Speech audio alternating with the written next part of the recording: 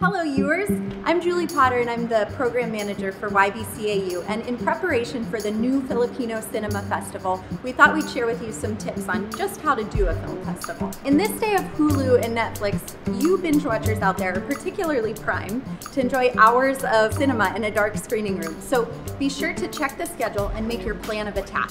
Here's Joel with your primer. Hi everyone, sometimes great art takes a while, so here are some tips disconnect.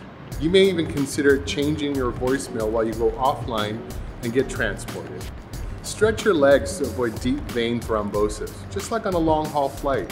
You'll want to move a bit. Hydrate in moderation. Drink plenty of water, but not too much. Dehydration and your bladder are the twin nemesis of the binge watcher. Wear comfortable clothes.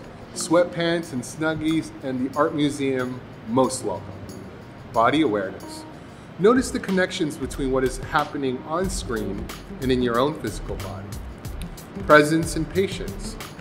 Notice what elements of the film grab your attention and remember that it's okay to space out, to think about other things. What are you bringing into the screening room? Your day? Your energy levels? How do these things affect your experience as an audience member? Enjoy the experience of cinema in a theater. Seeing a film can simply be people sharing a space and moment in time. I hope you enjoy this afternoon of great art, Filipino culture, and community. On June 21st, it's a Saturday, you're invited to join our Director of Community Engagement, Joel Tan, and the U Crew for a group binge watch of the four-hour masterpiece Norte, The End of History, by sort of the godfather of the Philippine New Wave, Lav Diaz. So grab some Filipino snacks in the Youth Arts Lounge and then park up in the back row where you can stretch your legs during this epic work. Mabuhay kaibigan at pamilya.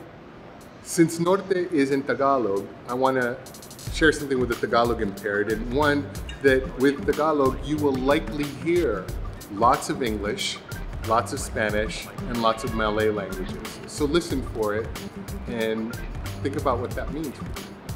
Secondly, um, between the spoken Tagalog and the subtitles you'll see, you will likely hear um, off cue lots of laughing from those of us who do speak Tagalog or booing or hissing or whatever it is that we're doing in response to the film.